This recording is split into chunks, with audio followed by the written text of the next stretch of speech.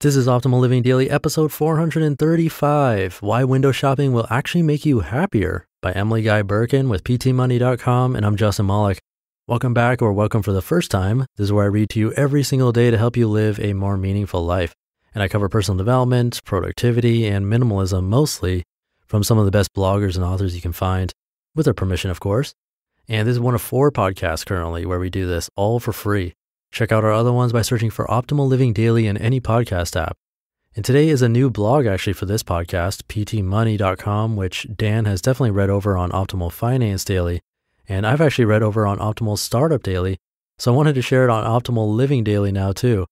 PT stands for Philip Taylor, a great guy who's been writing about personal finance for quite a while and actually founded FinCon, a popular personal finance conference that I actually plan to attend. So check that out too.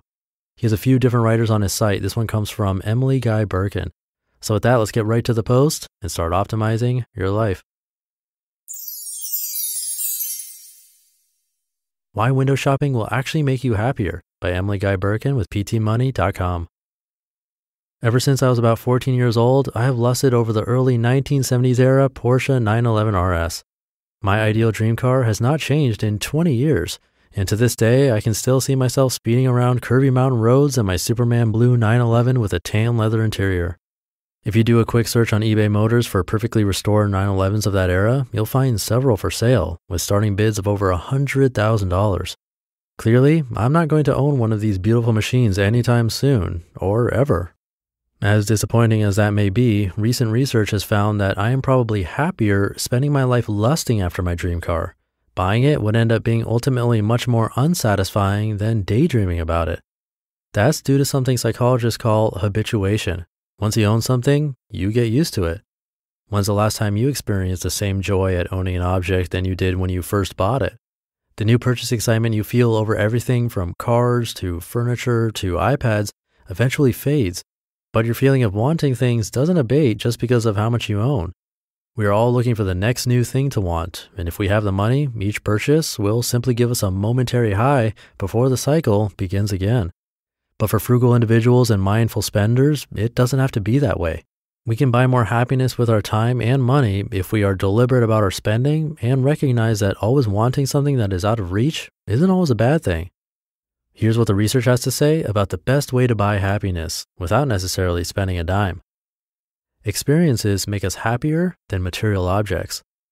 Buying a new car generally feels great. Driving off the lot, you know that you'll enjoy driving that car for years to come.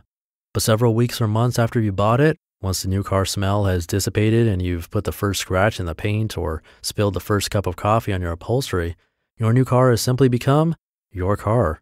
The only thing that reminds you of the newness of your purchase is your car payment. But if instead of researching and buying a new car, you had instead taken a vacation, even a modest one, you would derive a great deal more pleasure from your purchase. That's because with an experience, you have the opportunity to enjoy the anticipation, the purchase itself, and the memories. Material objects only give you the first two types of enjoyment.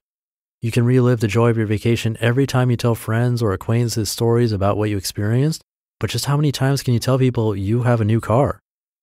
None of this is particularly surprising to most frugal individuals. Developing habits of frugality forces you to recognize that new material purchases don't really deliver the same bang for the buck as experience purchases.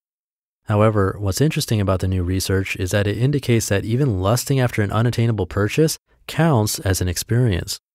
If you think about this, it makes sense. Because I love Porsches, I spend time looking at beautifully restored examples online, I read about them, I watch videos of them being driven, and I'll even post calendars and pictures of them up. All of that gives me fodder to talk about my favorite car, which increases my enjoyment. If I were to actually buy a Porsche, I'd be giving up some of my experiential enjoyment. Why buy a Porsche calendar when I have one in the garage? Why watch a video and listen to the music of the engine when I could take my own out for a drive? But again, I'd get pretty darn used to having that Porsche, and I'll lose out on the experience of wanting it. And according to psychologist Daniel Gilbert, author of Stumbling on Happiness, the little boosts I get from thinking about my dream car add up to more happiness than the enormous boost I would get from actually buying one. That's because the frequency of happy experiences matters more than their intensity. No one would argue that getting married, winning the lottery, or earning a major award are not incredibly happy and desirable events, But the huge burst of happiness you get from these big events fades just as quickly as the smaller bursts you feel when you chat on the phone with your best friend or walk to the ice cream parlor with your family. The difference is that you can have such little positive experiences much more frequently than you can have the big boosts, and apparently it's the frequency that counts. When it comes to spending money on expensive wants, there is no comparison between the accumulated bursts you feel in thinking or dreaming about a big purchase and the single feeling of happiness you get from buying it intense as that feeling may be.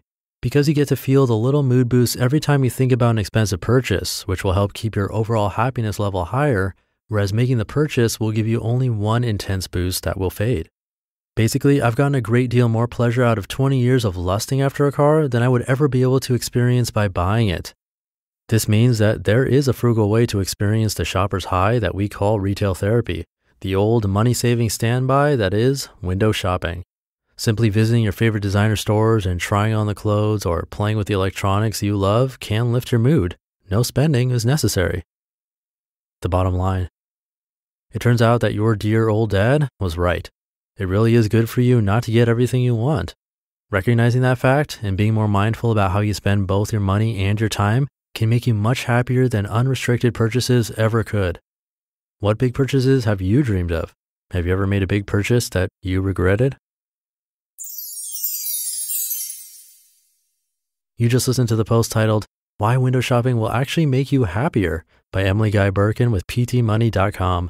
I thought that was so true. As a kid, my dream car was a Lamborghini Countach, mostly because it was my favorite micro machine toy. Remember those? Anyway, again, this is one of four podcasts. So if you want to help keep this podcast going, check out our others too.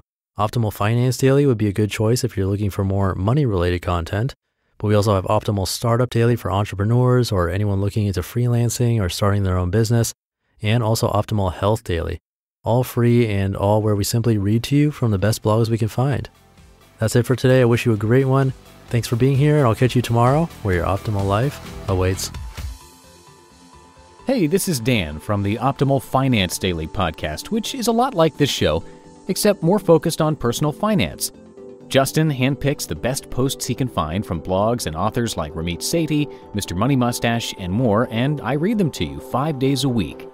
So if you enjoy this podcast, come on over and subscribe to Optimal Finance Daily too. And together, we'll optimize your financial life.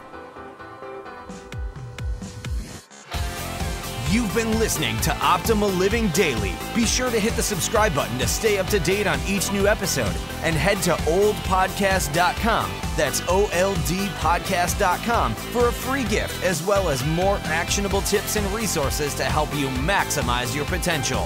Thanks for joining us, and remember, your optimal life awaits.